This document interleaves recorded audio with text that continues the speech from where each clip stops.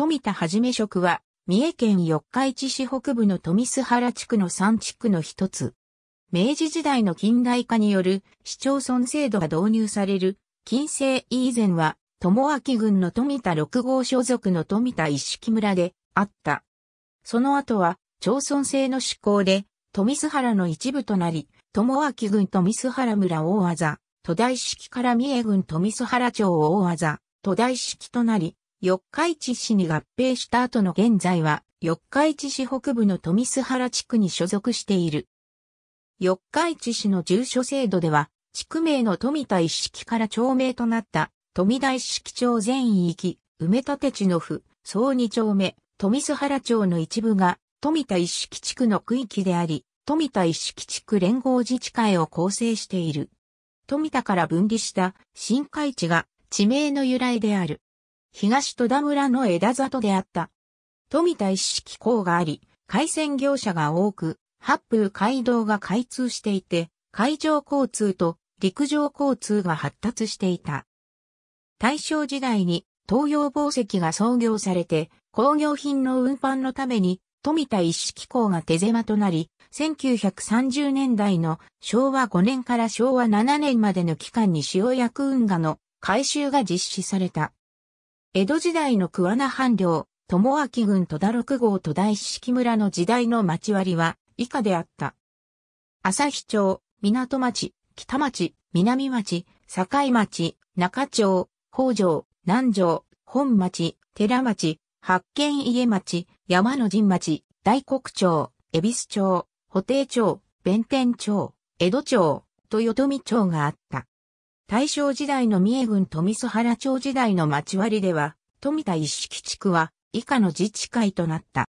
富田一式地区の北部旭町自治会、港町自治会北町自治会七県町自治会、本町自治会中町自治会広小路町大通りの広小路自治会都大式地区の中部寺町自治会、新町自治会南町自治会、境町自治会八県町自治会都大式地区の南部恵比寿町自治会大黒町自治会、布袋町自治会弁天町自治会江戸町自治会、豊富町第一区自治会豊富町第二区自治会、四日市市富洲原町に立地する、神護米町自治会かつての富田一式地区の植民地地域の飛び地松原茶の水松原平町、松原条約松原松が、枝東戸田大官庁全多神殿伊勢湾沿いの松が、うろみ水浴場を埋め立てた府、総二丁目、恵比寿町自治会は七福神の恵比寿大黒町自治会は七福神の大黒布袋町。自治会は七福神の布袋弁天町の弁天は七福神から由来する。